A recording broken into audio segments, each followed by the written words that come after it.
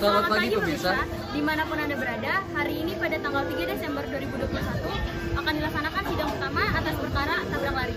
Baik, mari kita saksikan bersama. Selamat pagi. Sidang Pengadilan Jakarta Pusat yang memeriksa dan mengadili perkara tabrak lari, perkara-perkara pada tingkat pertama dengan terdakwa Saudara Putra Patria Yuda pada hari ini Sabtu 3 Desember 2022.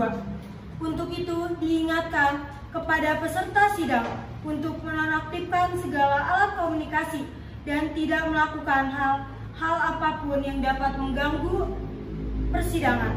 Baik, sebelumnya demi kelancaran persidangan dimulai, alangkah baiknya kita berdoa terlebih dahulu.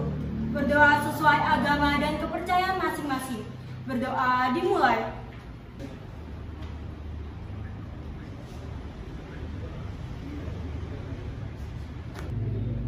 Berdoa selesai. Majelis hakim dipersilakan untuk memasuki ruang persidangan. Hadirin dimohon berdiri.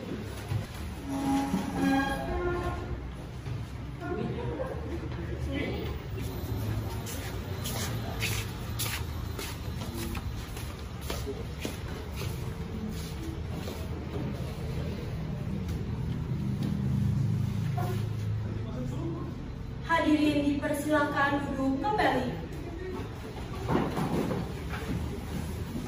Sidang Pengadilan Negeri Jakarta Pusat yang memeriksa perkara pidana nomor 22 tahun 2009 nama terdakwa Putra Patria Yuda pada hari Sabtu tanggal 3 Desember 2022 dinyatakan dibuka dan terbuka untuk umum. Para penasihat hukum, apakah terdakwa siap dihadirkan pada sidang hari ini? Siap yang mulia. Baik, silakan. Pada kepolisian, silakan membawa terdakwa ke dalam ruang sidang. Kepada pembicara, dipersilakan kepada terdakwa untuk memasuki ruang persidangan. Kepada terdakwa, dipersilakan untuk memasuki ruang sidang. Diam, diam, diam, diam.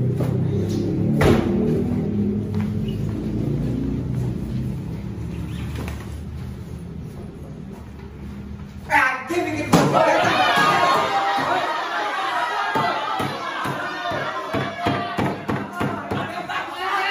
Diharapkan tenang agar persidangan ini bisa dilanjutkan.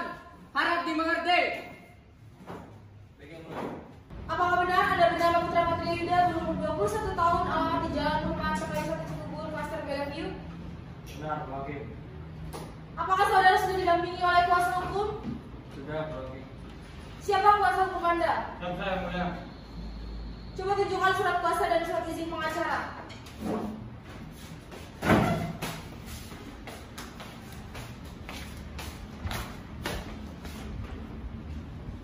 Ya benar, sudah sah.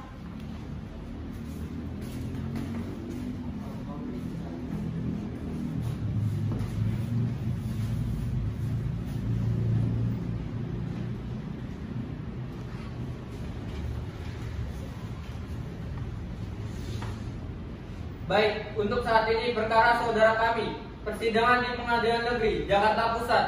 Jadi, segala sesuatu yang terjadi dalam persidangan ini, tolong Anda dengarkan dengan baik. Baik. Selanjutnya, Hakim Ketua memerintahkan jaksa, jaksa penuntut umum untuk membacakan dakwaannya. Baik, saya akan membacakan awal kronologi kejadian. Pada pukul 2 dini hari, ada seseorang pengendara motor melintas di jalanan di kawasan Cibubur. Korban pulang sehabis lembur dari kantor. Datang dari arah berlawanan, sebuah kendaraan roda 4 melaju kencang dan kehilangan kendali hingga menabrak korban. Korban sempat menghindar, namun kecelakaan tetap tak terelakkan. Menurut keterangan saksi, pelaku diduga dalam pengaruh alkohol. Pelaku melarikan diri dan meninggalkan korban dalam keadaan berbaring tak sadarkan. Saksi, seorang penjaga toko 24 jam di sisi jalan melihat kejadian tersebut. Saksi menolong korban dan membawanya ke rumah sakit terdekat. Korban yang sedang dalam proses pemulihan didampingi saksi melaporkan hal tersebut ke pengadilan negeri agar kasus ini bisa disandingi dan berharap pelaku bisa dituntut serta dapat menjelaskan kejadian secara sejujur-jujurnya. Sudah yang mulia. Mana saudara penuntut umum, apakah sudah siap dengan dakwaannya? Siap yang mulia. Saudara terdakwa sudah siap menerima pendakwaannya. Ya, yang mulia. Dipersilakan jaksa. Dalam kasus ini terdakwa dengan dakwaannya pasal 310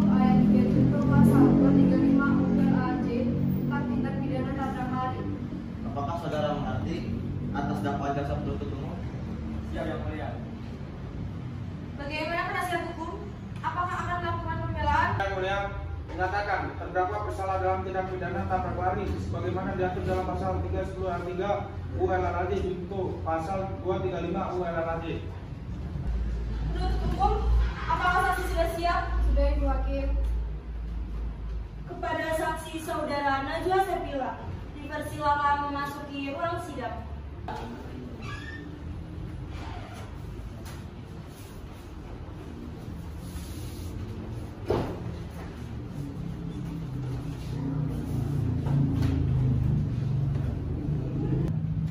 Apakah saudara sehat hari ini? Sehat yang mulia. Apakah Anda siap mengikuti persidangan hari ini? Mulia. Benar Anda bernama Najwa Sepila, usia 27 tahun dan bekerja sebagai pegawai swasta? Iya benar mulia. Baiklah, berdasarkan pasal 310 ayat 3 UU LLAJ, sebelum Anda dimintai keterangannya, Anda akan disumpah terlebih dahulu. Anda siap? Siap yang mulia.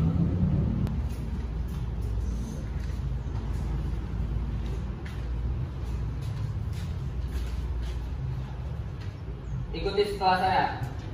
Saya bersumpah Saya bersumpah sebagai saksi akan memberikan keterangan yang benar, sebagai saksi akan memberikan keterangan yang benar, tidak lain dari yang sebenarnya. tidak lain dari yang sebenarnya. Semoga Tuhan menolong saya. Semoga Tuhan menolong saya. Baik, saksi telah su- sumpah. Jadi dimohon nantinya akan memberikan keterangan sesuai dengan kebenaran. Ada hubungan apa dengan terdakwa? Saya selaku pedagang toko kelontong di sekitar tempat kejadian tersebut Ibu Hakim. Apakah Anda mengenal terdakwa? Tidak tahu yang mulia.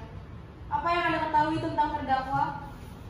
Yang saya ketahui ada sebuah pengendara motor yang melintas di jalan kawasan Cibubur.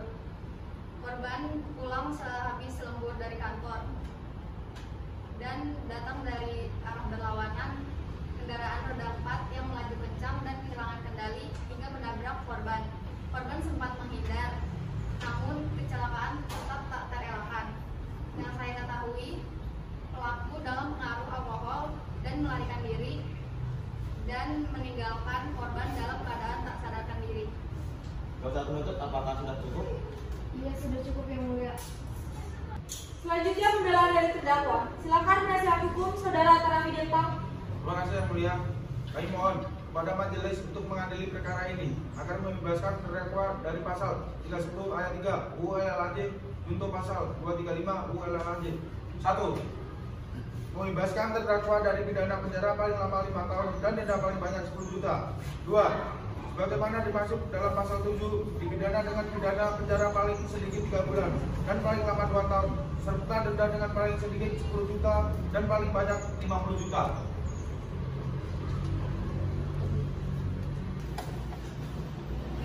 Selanjutnya pembacaan akan keputusan dan vonis untuk terdakwa oleh hakim ketua.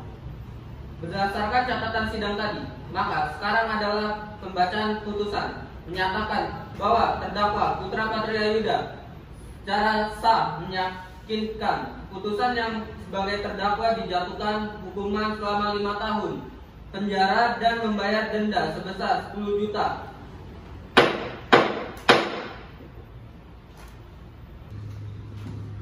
Sidang kasus hari ini, Sabtu, 3 Desember 2022 di Pengadilan Negeri Jakarta Pusat berakhir dengan hasil terdakwa Putra Patria Yuda dijatuhkan hukuman selama lima tahun penjara dan membayar denda sebesar 10 juta.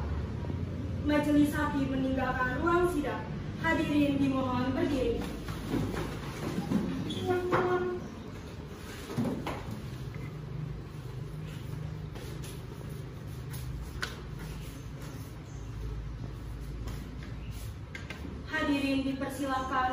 kembali.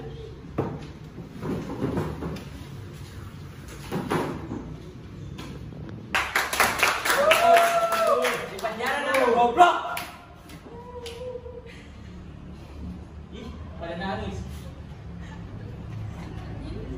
Kami mengabarkan hasil keputusan sidang hari ini di Pengadilan Negeri Jakarta Pusat dengan terdakwa Putra Patria Yuda dinyatakan bersalah dan dijatuhi hukuman 5 tahun penjara dan membayar denda sebesar 10 juta.